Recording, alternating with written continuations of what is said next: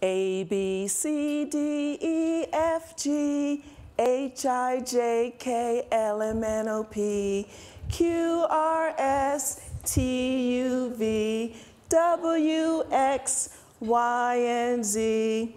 Now I said my ABCs. Tell me what you think of me. That's the 70s version. I understand there's an updated version. So my, my mom taught me the ABC song. And my mom taught me how to read. She used phonics, flashcards, and those um, and say books, the ones in the 70s where you have the record and the book and you turn the page at the beat. Yeah, y'all had them books. Yeah, she used those books to teach me how to read. And she made it fun, and I was always so proud when I would get the words right or read something well. And she did this as a teen mom, single parent, living in public housing in Baltimore on public assistance. Because of her, I was able to read by the age of five. My mom is a superhero. Yeah. Now, without question, it is a parent's responsibility, whether that parent is on public assistance or whether that parent is an executive at a Fortune 500 company, to make sure their child knows how to read. Now that I've gotten the personal responsibility statement out of the way, parents also rely on the education system to teach their kids to read, regardless of zip code, gender, or race. All kids should be able to read on grade level by the end of third grade. But unfortunately, many are not. The education system produces inequitable outcomes. It advantages those who are fluent, and it disadvantages poor kids, kids of color, and kids who come from high poverty communities. And when the system fails, we immediately place blame. We place blame on the parents, we even place blame on the kids themselves. Then we have this narrative that it's about personal failure and personal responsibility. But as my friend Myra Jones Taylor once said, it's not that our kids are broken, it's the system that is broken.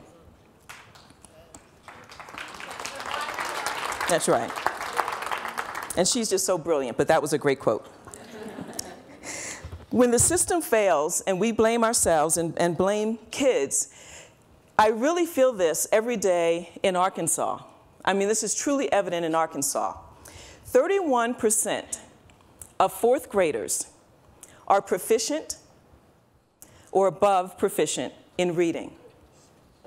That means close to seven out of 10 kids do not read on grade level. Can you really tell me that close to 70% of those kids all have bad parents?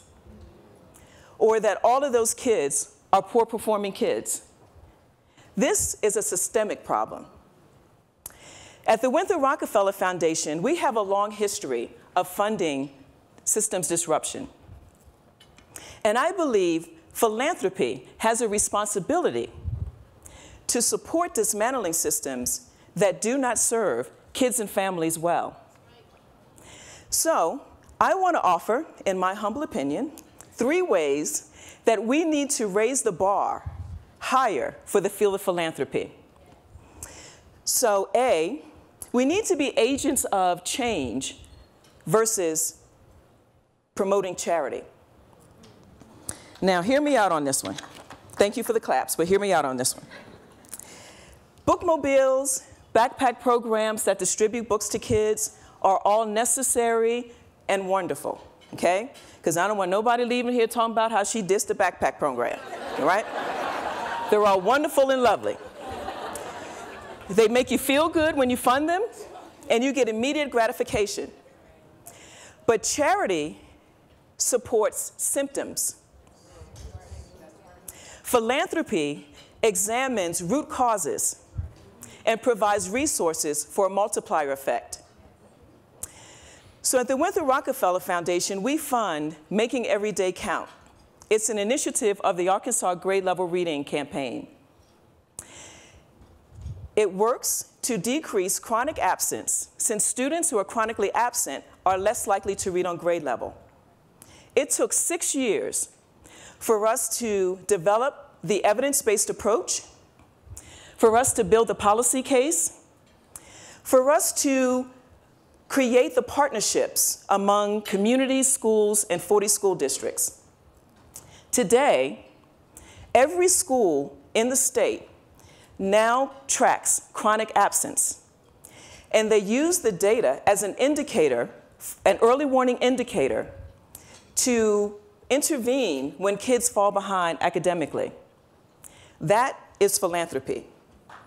Which brings me to my second point. As funders, we need to be risk takers versus reward seekers.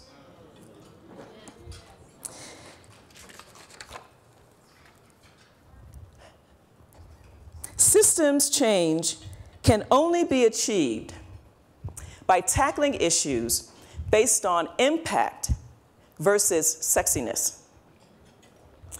Now, six years developing a system, tracking chronic absence so that kids don't fall behind academically is not super sexy, right?